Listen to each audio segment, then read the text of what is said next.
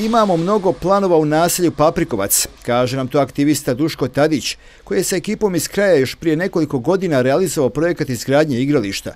Sada kažu imaju nove projekte koji bi mogli biti korisni svim mještanima.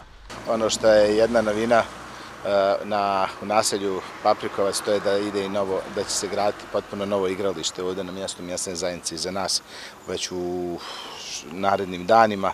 E, počinje se ovde sa rušenjem, isto tako počeo smo malo da saniramo i saobraćajnice, da postavljamo ležeće policajce kako bi ovde i komši i mještani bili e, mirni što se tiče saobraćaja i e, pored toga planiramo da rekonstruišemo dječje igralište u koje ste vi bili uključeni prije četiri godine ovdje u naselju mjesec kako bi ga zbog mališana koji su ovdje iz komšiluka sanirali e, obnovili, što kaže, nekim novim igračkama. Kakve su prve reakcije ovdje mještana u mjestnoj zajednici Paprikovac na sve ove projekte koje najavljujete?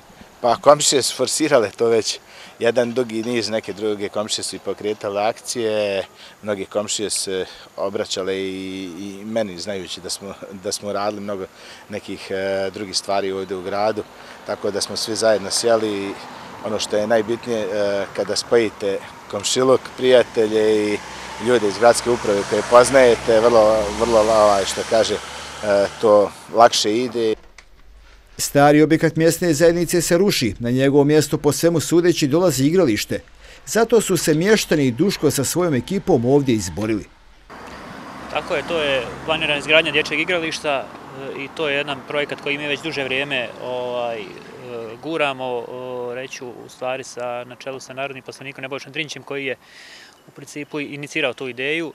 E, I ja sam ispred svog odjeljenja, naravno, mi smo poduzeli e, korake koji su tu potrebni, izdali smo dozvolu za rušenje objekta, e, kasnije idu lokacijski uslovi i u tom smislu ćemo isprati sve te aktivnosti. Tu su naravno i, rekao je, duška rekonstrukcija igrališta u, u naselju mjeseca, postavljeni su neki ležeći policajci. I što se tiče odjeljenja za prostorno ređenje, pratimo, pratimo sve te događaje i aktivnosti naravno dokumentacijom, potrebnim dozvolama i saglasnostima.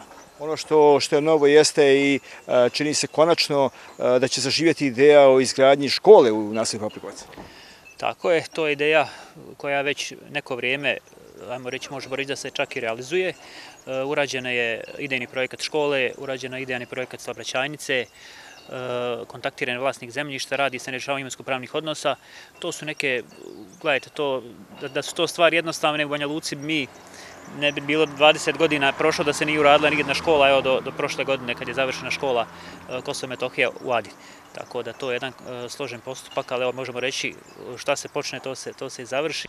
Pomoć za izgradnju igrališta stiže od društveno odgovornih kompanija, kaže narodni poslanik Nebojša Drinić, koji se i sam uključio u realizaciju ovog projekta. Upravo ono na što smo možda i najponosniji jeste upravo to što ćemo uskoro ukloniti objekat stare mjesne zajednice i objekat pored, gdje će tu biti jedna lijepa zelena površina, a onda u nekom vremenskom intervalu od 15 do 20 dana nadamo se izgradnji dječjeg igrališta, jer ovdje mnogo djece ima i to je nasušna potreba.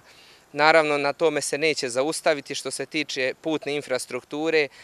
U već u narednih desetak dana gledat ćemo da saniramo udarne rupe, vidjet ćemo da postavimo ležeće policajce zbog svih onih koji ovdje svakodnevno e, prolaze, od onih koji su štićenici gerijatrije, pa neših najmlađih školaraca i naravno svih e, građana koji ovdje žive. U nekom narednom, narednom vremenskom periodu ne vjerujem da će se mnogo pozabaviti. Ovdje je u planu da se otvore i nove kancelarije e, mjesne zajednice, ambulanta porodične medicine, e, vrtić. Na kraju cilj mještenima je da konačno ovdje dobiju školu. Ima, kažu, već nekoliko decenije kako ne trebala biti ovdje napravljena, nadajući se da će se to konačno i desiti.